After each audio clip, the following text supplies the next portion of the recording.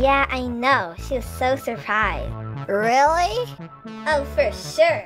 I mean, it wasn't very big, just a little bug, but Flower went crazy.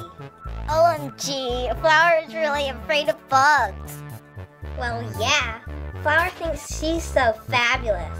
Like the time she asked Icy if she was beautiful. Ice Cube, don't you think I look beautiful? Oh,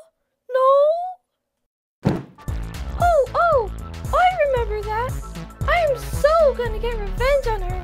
I cannot believe how she thinks we will be her servants.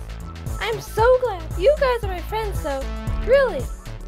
Bubble likes me too, right, Bubble? Oh, Oh, yeah?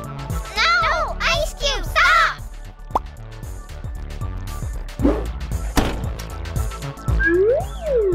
Pin, you nearly popped me.